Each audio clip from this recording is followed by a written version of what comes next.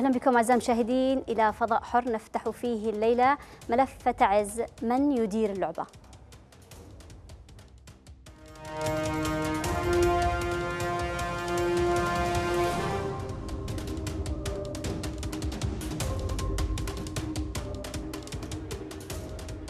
تتصاعد حالة الانفلات الأمني في تعز على نحو لافت. مؤخرا انتشرت ظاهرة الاغتيالات مستهدفة عددا من رجال الأمن ومنتسبي المقاومة الشعبية. وهو ما أثار تساؤلات حول من يقف خلف هذه الظاهرة وما هي أهدافها وما هي أهدافها وإلى أين تمضي تعز بشكل عام. يقول البعض أن خلايا المخلوع تقف خلف كل ما يجري بالنظر إلى أن المستهدفين هم من منتسبي المقاومة والأجهزة الأمنية. وبالنظر أيضا إلى الهدف النهائي من هذه العمليات والتي بدأت في عدن وانتقلت الآن إلى تعز للهدف ذاته. فريق آخر لديه تفسير مختلف وهو التفسير ينظر إلى التجاذبات السياسية القائمة في تعز وداخل صف الشرعية بشكل عام ويرى أن ما يجري في المدينة ليس سوى انعكاس لهذه الحالة وأنها لا تخرج عن كونها سعيا من القوى السياسية والجماعات المسلحة في المدينة والأطراف الخارجية الداعمة لها لتصفية الأطراف الأخرى المنافسة. بين هذا الطرح وذاك يبقى الحديث عن غياب الأجهزة الأمنية في المدينة وغياب دور الحكومة في دعمها وإعادة بنائها هو الأمر الوحيد المجمع عليه ولا مبرر له. فيما تتجه الحالة في تعز على ما يبدو إلى مصير لا يقل سوءا عما كان عليه الوضع في عدن. من المستفيد مما يحدث في تعز وما الطرف ومن الطرف الذي يقف خلف هذه العمليات؟ وأين هي الحكومة مما يجري في المدينة؟ ومن يدير اللعبة السياسية والأمنية فيها؟ هذه التساؤلات وغيرها ستكون محور نقاشنا في هذه الحلقة. من فضاء حر مع كل من الصحفي وسام محمد من تعز ومن عدن الناشط أحمد الوافي. أهلا بكما ضيفي الكريمين وأبدأ معكما بالسؤال المشترك وهو سؤال ربما يكون كبير لكنه مناسب لمعرفة الأرضية التي سيدور حولها نقاشنا لهذه الليلة. والبداية معك أحمد الوافي من عدن. كيف تصف ما يحدث في تعز خصوصا مع تصاعد حوادث الاغتيالات مؤخرا فيها؟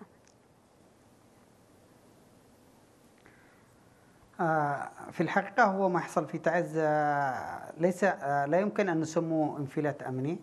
هو غياب تام للأمن، الانفلات الأمني يسمى عندما يكون هناك حالة أمنية ويتم أيضا فيها خلل أمني، إحنا نقول هناك غياب تام لل... لل... وانعدام للأمن في تعز. آه، عدم وجود سلطة محلية متواجدة في داخل المحافظة وعدم وجود أيضا إدارة أمن آه، متواجدة. هناك سلطة أمر واقع هي تحاول أن تفرض أجندتها وأن تحاول أن آه، تعمل بوفق أجندتها وما يحصل هو محصلة طبيعية لغياب العمل المؤسسي في الشغل العسكري والشغل والمقاومة الشعبية الذي كان يفترض منذ البداية أن يتم وفق أسس عسكرية وعلى يعني بأن يتم تنظيم العمل بنظام مؤسسي يحفظ يعني الأمن والاستقرار ولا يسمح بالانزلاق إلى ما نحن عليه. للأسف الشديد هناك تم رفض منذ البداية لما لهذه لهذا العمل بشكل مؤسسي وهذه النتيجة الطبيعية والحتمية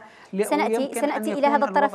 نعم سنأتي إلى هذه الأطراف التي رفضت الانخراط ضمن العمل والسياق المؤسسي. آه، لكن أتحول الآن إلى وسام أيضا من تعز والسؤال آه، ذاته. كيف تصف ما يحدث في تعز وخاصة مع تزايد حوادث الاغتيالات فيها في الفترة الأخيرة؟ طبعا آه، مساء الخير عليك سبحانه وعلى المشاهدين الأعزاء بالنسبة لما يجري في تعز فباعتقادي المسألة مركبة لا يمكن تبسيطها إلى أسباب آه، غياب العمل المؤسسي أو غياب المحافظ أو عدم وجود الأمن. المسألة أكبر من الجميع. آه، ما يجري في تعز أساسا هو آه، النقطة المحورية في التحليل. هو أن تعز كان لها دور محوري في ثورة فبراير. إذا عند هذه النقطة يمكننا معرفة من الأطراف التي لها مصلحة في تصفية ثورة فبراير. من الأطراف التي لها مصلحة في آه، آه، أن الناس لا تحقق انتصار. بعدها نأتي إلى المشاكل الأخرى. نحن نعرف أن دول التحالف آه، الحكومة الشرعية ثم الأحزاب السياسية. لا يكفي أن نقول أن أن أن علي صالح والحوثي هو من يرتكب الجرائم فقط لا هناك أسباب موضوعية أصلا ماذا عملنا لهذه الأسباب مثلا آه قبل أن ناتي الأسباب وسام وسام قبل أن ندخل في تفاصيل الاسباب يعني في البداية يعني آه إحاطة في المشهد يعني كيف تنظر أنت إليه؟ كيف يمكن أن تصفه حجم الوضع الكارثة في تعز؟ كيف يمكن أن تلخصها؟ الوضع مخيف فعلا أن أعمال الاغتيالات تنتشر وبأساليب الجريمة العتيقة من خلال كواتم الصوت ومن خلال استغلال المشاكل واستغلال الأزمة التي يعيشها المجتمع. بمعنى أن الظروف الاقتصادية التي وصل لها الناس جعلت الجميع يعيش أزمة. لهذا من الطبيعي أن تنتشر الجرائم. لكن ما هو تصورنا؟ ما هي رؤيتنا لمواجهة هذا الوضع؟ لا يوجد شيء وهنا الكارثة الحقيقية. وما طيب. يرشح وهذا طبعا ما يرشح تعز إلى وضع أسوأ. وضع إذا أسوأ مرشحة إليه. تعز أتحول من جديد إليك أستاذ أحمد الوافي. كنت تحدثت عن أسباب أو ربطت المشهد في تعز يعني ما يشبه الفوضى آه، في تعز لأسباب تتعلق بغياب المؤسسية في أجهزة السلطة المحلية أو أيضا آه، تشكيلة المقاومة كما فهمت من كلامك يعني هل يمكن أن توضح هذه النقطة؟ أولا أود أن أعقب على نقطة واحدة. نحن نحارب الحوثي وصالح. نحن رفضنا مشروع الحوثي وصالح. ومن الطبيعي بأن الحوثي وصالح سيستخدموا كل أدواتهم وكل أوراقهم كل أوراقهم لمواجهتنا. منها الأوراق الأمنية. إذا ماذا عملنا؟ ماذا صنعنا؟ يفترض بأننا نكون أكبر من من من أننا نبقى نشكي ونبكي. يجب أن نقوم بعمل أشياء ومن الآن يفترض.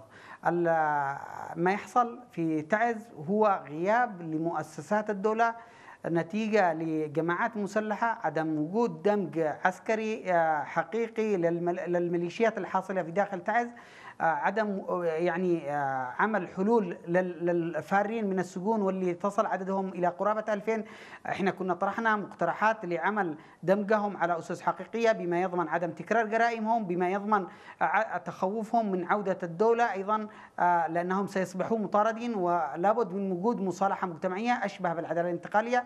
هناك أشياء كثيرة أصلا. لابد من قيام أجهزة الدولة ووجود آه، السلطة المحلية تقوم مصالحة مجتمعية مع من عفوا عفوا عفوا أحمد أحمد مصالحة مجتمعية قبل انتهاء الحرب مع من؟ لا مش مصالحة مجتمعية. أنا أقصد بأنه كان يفترض بأنه يتم عمل طمأنة لهم يتم كان طرحنا مقترح لقائد المقاومة الشعبية وجلسنا واتفقنا على أسس معينة بأنه يتم إعلان لكل المنخرطين في إطار المقاومة وهم فارين من السجون بأنه عليهم تقديم ملفات يعني يعني تجهيز ملفات لهم بحيث يكون شرط عدم عودتهم إلى جرائم سابقة وأن تقوم الدولة وممثلة بالدولة الشرعية لحل ملفاتهم وحلحلة ملفاتهم حتى لا يبقوا يبقوا لقمة صايغة لدى الجماعات الإرهابية التي تستغلهم في الوقت المناسب. آه، كما يعني تستغلهم الآن أحمد هل أفهم من كلامك بأن هناك هناك مجرمون فارون من السجون أصبحوا منخرطين ضمن تشكيلة المقاومة. لماذا ننكر هذا؟ موجود بالتأكيد كثير، هذه أحد الأسباب، لكن نقول في أسباب كثيرة، بقاء الموارد آه، يعني تحت سطوة النافذين وتحت سطوة اللصوص مشكلة كبيرة، أيضا نحن الآن إحنا لا نتكلم على مشكلة انفلات أمني طبيعي، نحن أمام ظاهرة إقليمية ومشروع كبير. يجري المخطط بأن تكون تعز امتداد للموصل وحلب، نحن نحذر من وجود جماعات إسلامية تتمدد بشكل سلس وتتواجد بأماكن كثيرة في داخل تعز وقت يعني في ظل من هي هذه الجماعات الإسلامية التي تشير إليها؟ مخجل للسلطة نعم. المحلية نعم نعم ما هي ما هي هذه الجماعات الإسلامية التي تشير إليها في تعز؟ من انصار الشريعة من انصار الشريعة وهناك أخبار تتداول بأن تنظيم الدولة داعش متواجدة ونحن الآن قبلنا التواجد على قناتكم وفي هذا البرنامج. ولا نخشى بأن نقول ونحذر لأن دمنا لن يكون أغلى من حبرنا ونحن نفدي مجتمعاتنا. اللي, اللي نحن رفضنا من البداية لإخضاعنا من قبل الحوثي وصالح ومن قبل أدواتهم المنضمة في إطار المقاومة والممثلة بعلي محسن وممثلة بأجهزة معينة وأحزاب معينة. نقول طيب إحنا الآن طيب انه تعز الآن المخطط ما يجري بأنهم تحويل تعز إلى ساحة صراع إقليمية امتداد امتداد لما تم في الموصل ولما تم في داخل حلب. هذا طيب يتم طيب كيف تعلق على هذا الطرح يعني أستاذ وسام؟ ومنهج. نعم أستاذ وسام استمعت إلى يعني إلى أحمد الوافي. تحدث عن بعض الأسباب من وجهة نظره لما يحدث في تعز. تحدث عن جماعات إسلامية ربما تكون هي آه، يعني فتيل هذه الفوضى التي تواجد يعني آه، وصلت إليها المدينة. كيف تعلق؟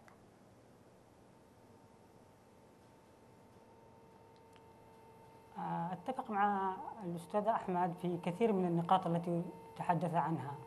لكن ما يغيب عن بالنا هو أننا نستغرق في مشاكل صغيرة هي في الأساس آه، نتيجة طبيعية لحالة الحرب القائمة.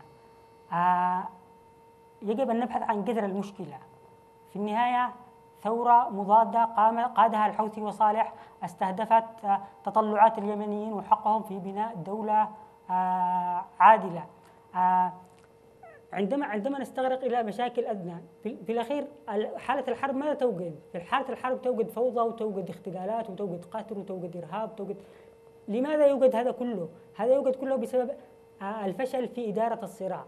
لدينا حكومة عاجزة علينا أن نعترف اليوم لم يعد هناك وقت آه، لتأخير هذا الاعتراف.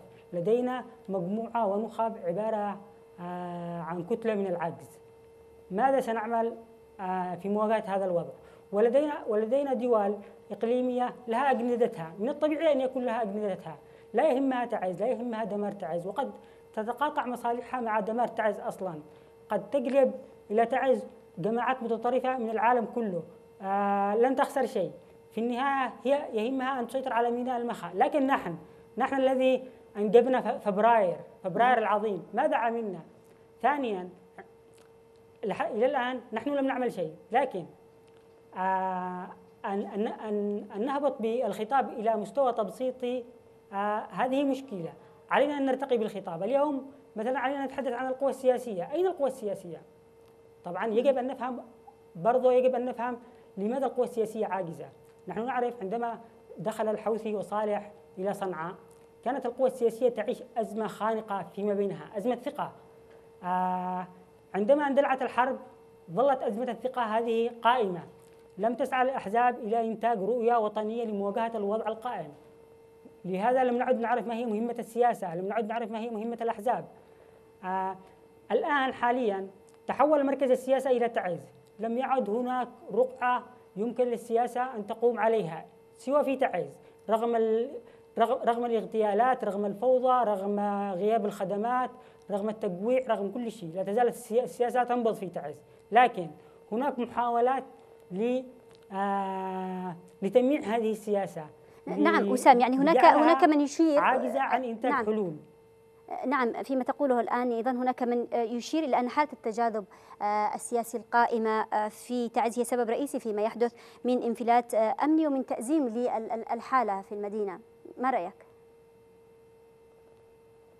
بالطبع الأحزاب السياسية هي تتحمل جزء كبير من من المسؤولية لأنها حتى الآن لم تعرف ما هو هدفها كان هناك مقاومة شعبية المجتمع كله منخرط فيها ومرحب فيها ومستعد أن يبذل كل غالي وكل رخيص لكن تم تحييد المجتمع بداية ثم آه تم آه سلق فكرة آه آه الدمج مع الجيش دون أي معايير ودون أي خطط. و... و... ثم أي فكرة هذه التي تتحدث عن وجود جيش في ظل في ظل حالة حرب؟ وما هو الجيش هذا أصلا؟ نحن نحتاج في البداية قبل أن يكون هناك جيش نحتاج أن نبني رؤيتنا للدولة البديلة. لا أن نذهب إلى دولة علي عبد الله صالح من جديد. ما هي المعايير لكن وسام يعني في تشكيل هذا الجيش أو هذه المكونات العسكرية التي من شأنها أن تؤسس لدولة في ظل حالة الحرب. هو هو هو نحن كما قلت لك سابقا بلينا بنخبة سياسية عاجزة للأسف. لا تستطيع إنتاج رؤى وتصورات آه، يمكنها أن تستوعب قدرات المجتمع. آه، باعتقادي تعز اليوم مثلا تعز اليوم تقاوم بقدراتها الذاتية. اليوم القتلة والمجرمون يستخدمون أسلحة كاتم صوت. لماذا؟ كل الناس مسلحين في الشوارع. لماذا يحتاجون إلى إلى كاتم صوت؟ لأن تعز لا تزال تحاصرهم. منذ منذ أن تم تحرير آه، المنفذ الغربي زاد عدد السكان تعز إلى نحو ثلاثة أضعاف تقريبا. لهذا آه، حتى مع ارتكاب هذه الجرائم الشوارع مزدحمة والحياة يعني بمعنى أنه المجتمع لديه طاقات خلاقة لكن لا يوجد من يستثمر هذه الطاقات. هذه الأحزاب إذن هي سبب الانتكاسة. غياب النخب السياسية. لكن, لكن طيب. سأعود إليك أسام سأعود إليك سأعود إليك. أضيف أضيف تفضل. أضيف. نحن نعرف أن هذه الأحزاب هي أصلا ذات طبيعة إصلاحية وقد اختبرناها في ثورة فبراير وحدث بعد الثورة وبعد التوافقات آه أنها آه جزء من الفشل القائم في البلد وجزء من ثقافة دولة علي عبد الله صالح. آه طبعا الأمر لا يتساوى لكن في النهاية هذه الأحزاب عجزت عن أن تكون عند مستوى تطلعات الناس وعند مستوى تضحياتهم. اذا اذا الجانب السياسي الجانب السياسي آه القى بظلاله على الجانب الأمني. سأعود اليك سأعود إليك وسام. الجانب السياسي هو من القى بظلاله على الجانب الأمني وربما هو الذي طعن في تلك التضحيات التي يقوم بها الرجال في الميدان بغياب فعلا المشروع السياسي وظهور تجاذبات سياسية على حساب المشروع آه، الوطني وأيضا تمترس بعض يعني المكونات السياسية ضد الأخرى ويعني هذا الصراع السياسي هو أكثر ما أضر بمحافظة تعز ووسع دائرة الفوضى أو الانفلات الأمني ما هو تعليقك أحمد؟ نحن نقول بأنه يعني رمي كل الثقل على السياسيين هنا يعني للأسف الشديد يعني خطأ كبير، هناك مراكز نفوذ. نقول بأن الأحزاب السياسية ليست كلها أحزاب سياسية، هناك أحزاب تتستر وراء السياسة وهي ميليشيات عسكرية جماعات موت جماعات تكفيرية وظهرت مؤخرا بأنها جماعات تكفر شركائها السياسيين. لماذا نكذب على أنفسنا؟ نقول بأن هناك المشكلة عن, عن أي عن أي عن أي, أو عن أي أحزاب تتحدث؟ هذه عن حزب الإصلاح تحديدا عن حزب الإصلاح تحديدا الذي رفض المواجهة في صنعاء وقبل المواجهة العسكرية في داخل تعز لأغراضه الخاصة.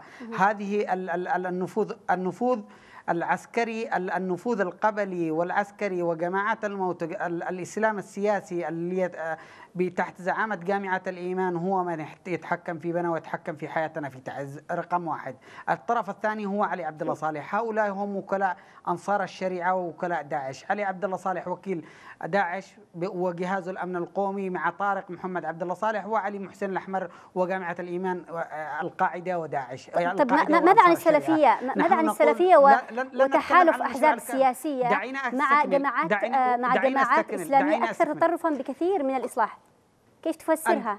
الجماعات السلفية هي مقسم الجماعات السلفية هي مقسمة ما بين هذا وهذا وتدار بالريموت عبر هؤلاء المؤدلجين سياسيا وهؤلاء المطابق الذين يتبعهم أمن سياسي وأمن قومي. أمن سياسي في يتبع الإخوان المسلمين وأمن قومي تابع لعلي عبد الله صالح وأولاده وأولاد أخيه. دعونا نكون أكثر صراحة. المشروع قد يكون المستفيد منه أقليميا أكثر من المحليا. بتدمين الولايات المتحدة الأمريكية وبريطانيا وفي حلقات نحن نريد أن نحمي تعز. ماذا قدم المحافظ المعمري؟ ماذا قدم خالد فاضل؟ ماذا قدم ألا تعتقد ألا تعتقد أحمد ألا تعتقد بأن هذا المنطق هو ذات المنطق الذي أسقطت على إثره عمران. ألا تخشى أن تذهب تعز إلى نفس المصير بسبب هذه بسبب هذا الخطاب الذي يعاد يعني إنتاجه من جديد في تعز. أنا أنا أريد أقول لك حاجة. لا لا, لا نريد أن نقرف وعي المجتمعات. ما حصل أصلا في عمران وسقطت عمران نتيجة سلوكيات خاطئة آه، ونتيجة سيطرة كاملة من قبل حزب الإصلاح على حكومة الوفاق الوطني وإدارة مجلس الوزراء باللجنة التنظيمية حق الساحة مما حول الناس بأنهم صمتوا وسكت الكثير ووجدت يعني, يعني الحوثي كان عنده حق في إسقاط العمران بحيث يتمددوا. للأسف الشديد اليوم اليوم الإصلاح يكرر نفس السيناريو وبصورة أسوأ وبصورة أكثر يعني سوادا وقتمة في داخل تعز نحن نقول الآن نقول ماذا قدمت سلطات الأمر الواقع في داخل تعز لتلافي الوضع الذي ليس خطيرا الآن لكن سيكون خطيرا لاحقا؟ طيب كيف كيف يمكن أن تقدم في ظل كل هذا كل هذا التشاحن آه، آه، في التشاحن آه، السياسي والتجاذب السياسي طيب سأعود سأعود إليك. يا سيدتي نحن نحن نكون منطقيين. من رفض من رفض العمل العسكري المؤسسي؟ أنا أنا تحدثت إلى وزير الداخلية عبد الحذيفي وطلبت منه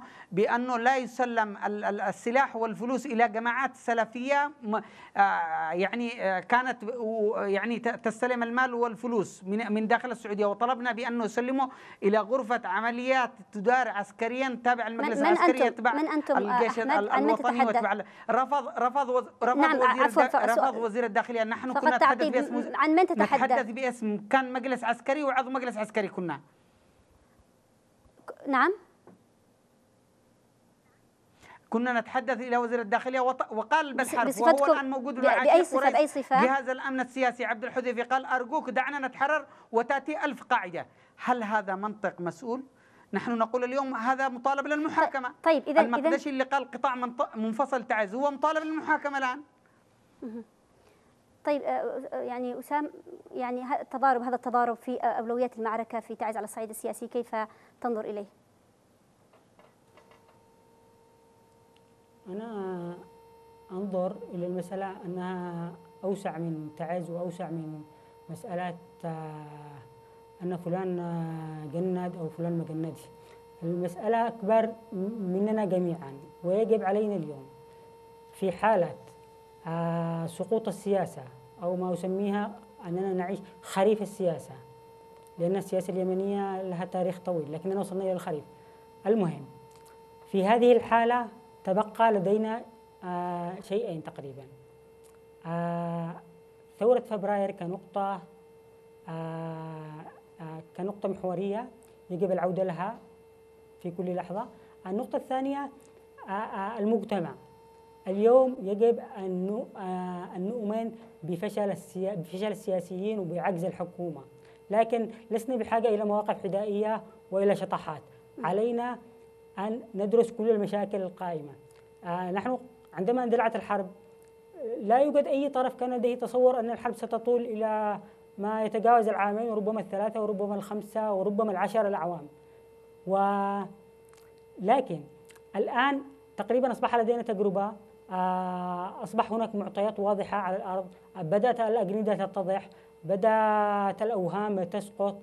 إذا علينا ألا نسقط آه، في حالة الضجيج القائمة وفي حالة الشطحات. يجب أن نكون واقعيين. هناك تركة ثقيلة. هذه التركة هي تركة نظام علي عبد الله صالح. ونحن جميعا جزء منها وثقافتنا هي ثقافة آه، هذه العقود التي مرت العقود السوداوية. ما هو ما هو ما هو شكل تواجد أدوات المخلوق صالح في تعز برؤيه وسام؟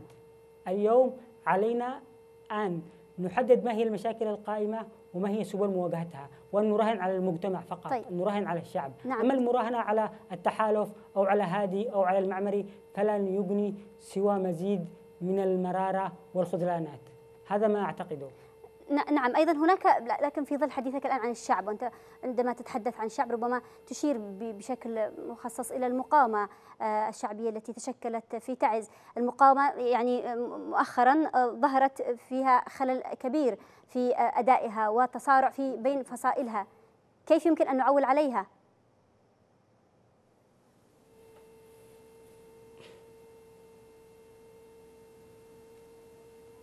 وسام هل هل تسمعني؟ يبدو يبدو الصوت انقطع عندي. طيب طيب كنت أسألك كنت تسمعني الآن وسام؟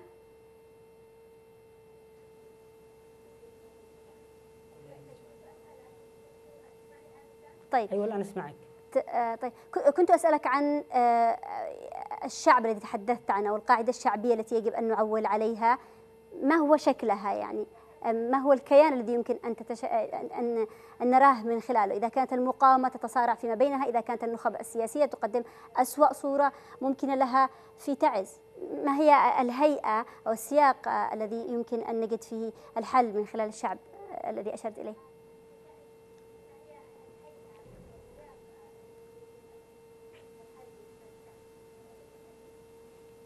اليوم لدينا تجارب كثيرة آه ولدينا نضالات متعددة لكنها غير مترابطة تفتقر للغة المشتركة.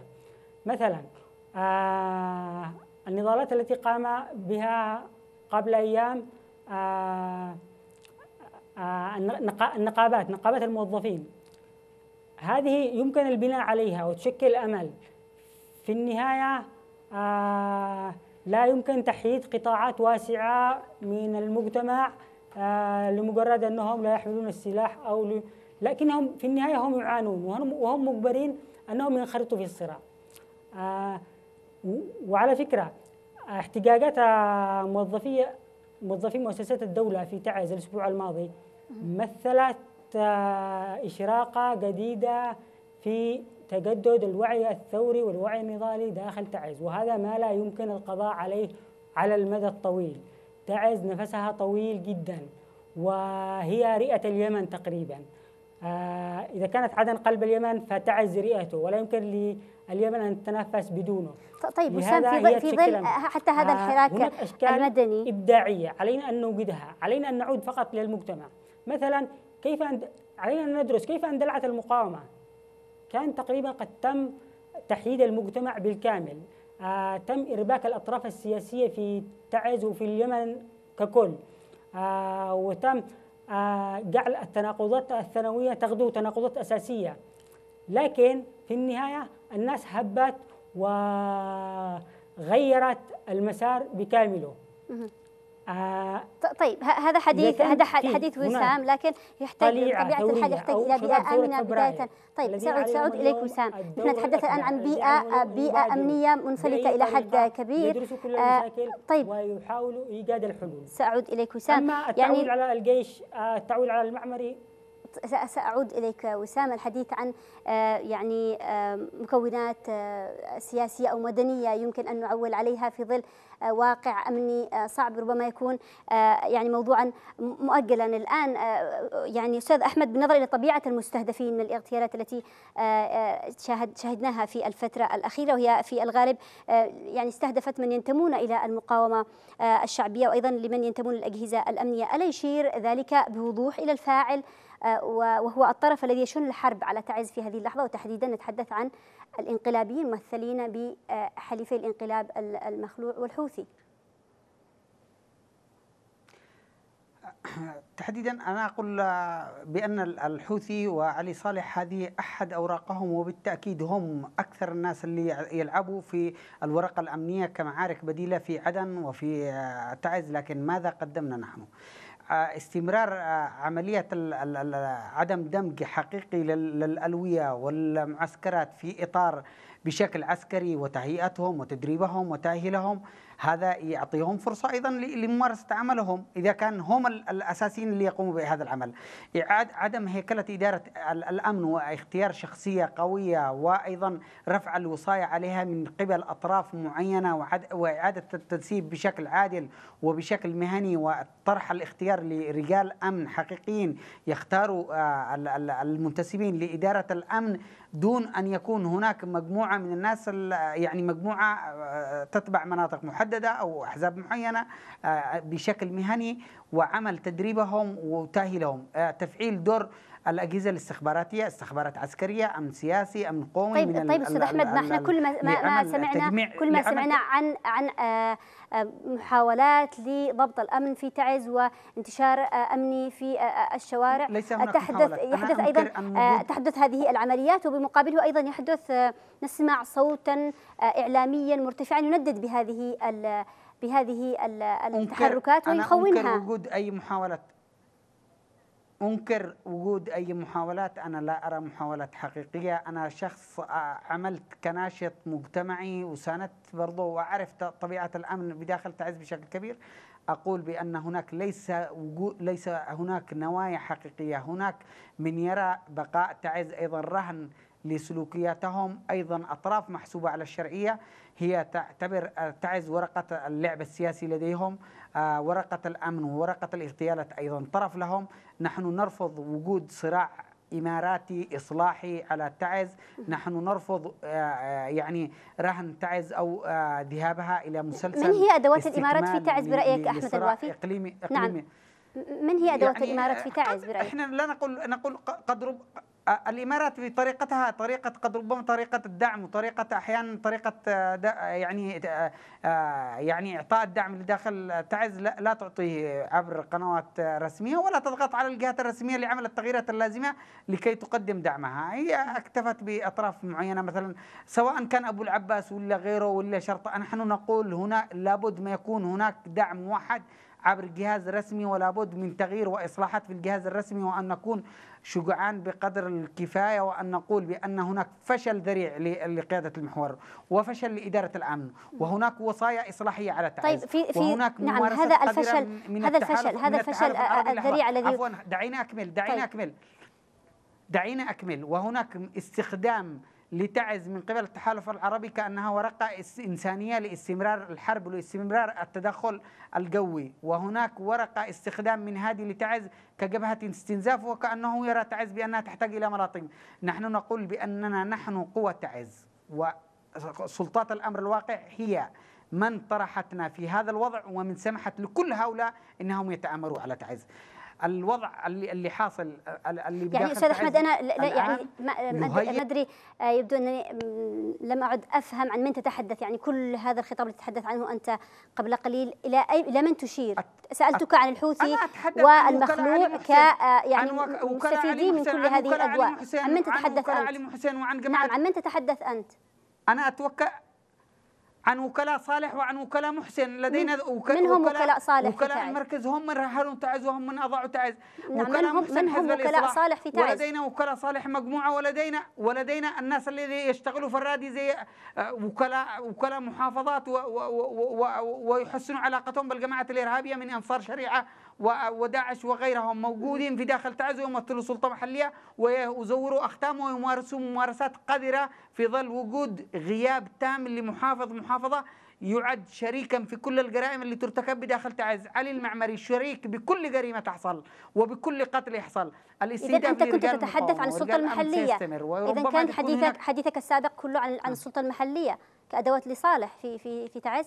عن بعض أطراف السلطة المحلية الميليشياويين الذي إحنا نعرف بأنهم يديروا هل يمكن أن تسميهم؟ نعم هل يمكن أن تسميهم؟ ويأووا ويأووا ويأووا القتلة حتى من قبل انطلاق المقاومة من 2014 إحنا عند لدينا ناس معروفين ومستعدين نذكرهم بالاسم إذا ما فيش عندكم مانع. أنا أعرف فضل. بأنكم أنتم تقولوا بأن ما عندناش يعني مانع؟ أهم شيء ما يكونش عندك أنت مانع. تفضل.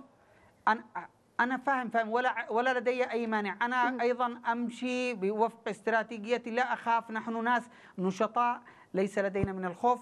ونحن نعرف هدف القناة في استدعائنا إلى هذه الحلقة ونعرف بأنكم ستضعون بمواجهة نحن لا نخاف مطلقا. طالما يا, يا أستاذ أحمد بالعكس أنت ربما أكثر أمانا من ضيفنا الآخر أنت في عدن وهو في تعز. أعتذر, أعتذر, أعتذر على هذا الكلام لأنه لأنه لأنه أنا أعتقد بأنه نفس أدوات الميليشيات أيضا في هناك أدوات إعلامية تعمل على تغيير وعي المجتمع أيضا ومحاولة يعني آه، إقناع المجتمع بصورة إنها جمالية وأن هناك استهداف للمقاومة. ولا يريدون مواجهة أنفسهم أو مواجهة الناس بواقعهم حتى يستطيعوا الخروج من هذا الواقع المظلم. تعز تنتظر يعني تنتظرها ينتظرها أيام مظلمة ونحذر من هذا الكلام ونقول بأن الشرعية ستكون شريكة حتى لو كان الفاعل علي عبد الله صالح والحوثيين وأدوات آه، وهناك جهات إقليمية وتحالف نقول من سمح لهم هم السلطات المحلية وسلطات الأمر الواقع الموجودة في تعز ومن تحاول السيطرة على كل الأجهزة سواء كانت أمنية أو عسكرية من تحاول التلاعب بالأسماء هناك مخطط أيضا طيب. لإفقار تعز وتوقيعها بالجانب المدني والضخ بالمال والفلوس لمن؟ للجماعات المسلحة حتى تكون لها ثروة للحرب القادمة اللي هي الحرب الارهابيه نعم هذه هي نعم تحدثت عن امكانيات مليون ريال. نعم تحدثت عن ضعف أداء السلطة الشرعية في السلطة المحلية في تعز لإدارة الأمن وسام. يعني سمعنا أيضا مؤخرا عن أن حتى هذا يعني السلطة المحلية بطبيعة الحال تحتاج إلى دعم وإلى امكانيات لإدارة ملف الملف الأمني. في تعز وقد كان لدينا في حلقات سابقة ضيوف من تعز تحدثوا عن عدم وجود طقم حتى لإدارة الأمن في تعز. عدم وجود الإمكانيات أو عدم رفض يعني السلطة المحلية بالإمكانيات التي تمكنها وتؤهلها لإدارة الملف الأمني في تعز مقابل دعم وتمويل كبير لفصائل معينة متمردة على آه، السلطة ومتمردة على الشرعية في تعز كيف يمكن أن نفسره وكيف يمكن آه، أن نفهمه وكيف يمكن أن نؤمل في آه، استقرار أمني في تعز في ظل هذه الظروف؟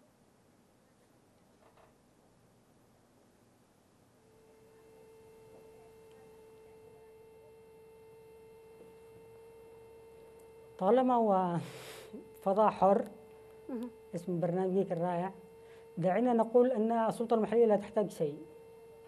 السلطة المحلية تقريبا تحتاج بالجزمة لأنها لا تعرف مهامها وقبلت أن تمارس مهامها دون أن دون أن تكون عند مستوى اللحظة. آه علي المعمري. طبعا ليس كل السبب علي المعمري لكن إذا كان يحترم نفسه مفروض يقدم استقالته ويترك الناس يواجهوا خياراتهم ومصيراتهم. آه من إذا يعني الدفاع عن المعمري والتعاطف مع لن يستمر طويلا في ظل هذا الفشل الذريع. عليهم على الأقل ألا يعولوا حتى على التحالف ولا على الحكومة الشرعية عليهم أن يعودوا للمجتمع ويوجدوا آه، حلول لكل المشاكل القائمة. في النهاية ما يحدث ليس نهاية العالم. هناك ألف حل. آه، اليوم من من من يستلم من التحالف بطريقة منفردة آه، أو من غيره يعتبر مرتزق. لماذا؟ لأنه لا يصارح الناس أنه كذا كذا مبلغ كذا وصلنا أسلحة كذا وصلتنا. على الأقل آه، يصارح كل القوى لكي يحصل تهدئة لكن كل الأطراف تسعى إلى خط بود التحالف عن طريقها تسعى إلى مهادنة التحالف تسعى إلى التقرب من المعمري تسعى إلى في النهاية آه، الكل أصبح آه، يريد أن يتاجر بمآسي الناس. لكن لكن هناك يبقى أن الناس قررت أنها ستواجه ولن تعود دون أن تحقق ما خرجت من أجله. عليهم على الجميع. الأطراف الذين يعتقدون أنهم سيتم استغفال الناس أو الذين يعتقدون أن الخصومة مع الإصلاح فقط أو أن الخصومة مع أبو العباس أو أن في النهاية الناس شبت عن الطوق. والكلمة النهائية ستبقى لها سواء اليوم تواطأت أو واجهت. طيب طيب. اذا اذا يعني تتحدث أنت عن جو سياسي أكثر منه أمني أو إداري. في في تعز بينما أحمد يذهب بأن المشكلة فعلا إدارية. في تعز أحمد أنت وتحدث وأنت تتحدث عن المشكلة الإدارية في السلطة المحلية. في تعز يعني مؤخرا عرفنا يعني وسمعنا عن تدخل الشرطة العسكرية لفرض الأمن. في تعز تم قتل نقل قائد الشرطة. أيضا يتم حجب أي تعزيزات عسكرية تساعد الجهات الأمنية في تعز عن أداء مهامها كي يعني ما يشير إلى أن القوى المتصارعة في تعز صارت أكبر أصلا من السلطة المحلية ومن قدرتها على يعني السيطرة على الوضع كيف تعلق؟ آه، أنا أقول بأنه بعد تحرك القوات الأمن الخاصة في منطقة الحجرية وتأمين خط آه، من التربة إلى إلى السجن المركزي وفرض ثمان نقاط أمنية وبدأت تشتغل بشكل إيجابي رغم أن المنتسبين لها يتم سحب يتم تسليم رواتبهم من إدارة الأمن ولم يأتوا إلى حتى معسكرات القوات الأمن الخاصة. تحركت الشرطة العسكرية وظهرت بشكل آه، مثلها أعتقد. أنا لن أكون آه، سوداوي النظرة لكن أتمنى أن يدوم آه، استمرار الشرطة العسكرية بشكل كبير. لكن أنا أعتقد بأنه صارت معاركنا هي ذات شكل سياسي وصارت أيضا حركات الأمنية ذات شكل سياسي لا وجود لإرادة حقيقية لاستتباب الأمن لا وجود نية حقيقية لدى الأطراف الذي لا أحلم لا ما ما ما ما لماذا تتخوف حتى تكون وصية على قيادة المحور وتكون وصية على الألوية وتكون وصية على إدارة الأمن؟ ما الذي يزعجها؟ يجب أن مكاشفة شركائها السياسيين إذا كانت تخشى من شيء وتقول أنا متخوفين نحن كإصلاح متخوفين من شكل كذا كذا كذا. ويقفوا بموقف حقيقي مع شركائهم السياسيين. نحن نقول طيب يا أستاذ أحمد الآن استعرضنا استعرضنا بعض الخطوات التي تشير إلى أن هناك كان آه، جدية في اداره الأمن في تعز لكن آه، الصراعات كانت آه، أكبر وأقوى من هذه المحاولات في السلطة المحلية أو في إدارة الأمن بالتأكيد تحديدا. بالتأكيد بالتأكيد بالتأكيد. بالتأكيد الصراع أكبر من هذا من هذا الكلام وهناك مصادر قوه نفوذ كبيرة تتمثل بقيادة السلطات الشرعية وهي يعني هي من تدير معركة تعز. أنا أعتقد أن القوى السياسية بالذات لأطراف معينة لا حول لهم ولا قوة في داخل تعز. وأيضا هي من من تغذي هذا الصراع بشكل كبير. أنا أقول بأنه إذا لم تملأ الكاس سيأتي من يملأه سواء الإمارات أو التحالف أو سين أو صاد إذا لم تقم بعمل شيء معين على الناس اللي يقولوا على صراعات مثلا آه، تتعلق بقطر والإمارات هل تبرر هل تبرر هذا الأمر نحن نقول نرفض هذا الأمر. نقول نحن نملأ كسنة نحن نقوم بإجراءاتنا بداخل تعز. لماذا لا نقوم بإجراءات عملية؟ لماذا لم يتم القيام من سلطة الأمر الواقع حتى لو كان هذا القدر كبير حتى لو كان المخطط كبير من ترامب نفسه؟ لماذا لا نعمل ممانعة ونقلل من هذه المخاطر حتى يكون ضربة الفاس الكبيرة في أقل من دقيقة كيف؟ كيف؟ كيف؟ في كيف أستاذ أحمد؟ في أقل من دقيقة. إذا في أقل من دقيقتين. لابد من آه، سرعة عملية دمج الكتائب والألوية بألوية الجيش وأن يتاح لهم آه، يعني كل الصلاحيات بأن يقوموا بأخذ أسلحتهم وإعادة توزيعهم وإعادة تمضعهم وأن تكون لهم كامل السلطة. أيضا آه، آه، عمل هيكلة ورفض التنسيب السابق لإدارة الأمن الذي سيطرت على وجهات معينة تعيين إدارة قيادة أمن جديدة. تغيير محافظ تغيير قيادة المحور مع كل هياكلها اللي تبع ميليشيا معينة أو تبع مكتب علي محسن الأحمر اللي يدير تعز والذي يستخدم تعز طيب تتحدث عن علي محسن الأحمر وهو يختلف كثيرا عن علي صالح. وهو نعم القائد الأعلى للقوات المسلحة آه، وكأنه نحن آه يعني خارج هذا السياق. وأيضا آه بالنسبة بالنسبة للمكونات التي رفضت الانخراط في الجيش يعرف أيضا الجميع بأن ربما كتائب العباس هي كانت الكتائب الوحيدة التي رفضت الانخراط. الانخراط في الجيش تحول إليك. بسؤال أخير. أبو العباس الآن يمثل يمثل يمثل, نعم. يمثل خيارات المجتمع اللي اللي لم يقدر إدارة الأمن تقبض على على غزوان. نعم. طيب آه، سؤال أخير لك آه، آه، وسام. يعني الجميع كان يراهن على تعز على القوى الوطنية في تعز على المشروع تعز حاملة المشروع الوطني وشرارة فبراير بأن وإن هذا المشروع ونخبه في تعز ستكون حجر عثرة أمام أي محاولة لإفشال مشروع وطني في تعز آه، الواقع. الآن يقول العكس بأن النخب السياسية في تعز هي من خذلت آه، تعز. كيف يمكن أن نعيد الأمل في هذه النخب؟ وهل من أمل؟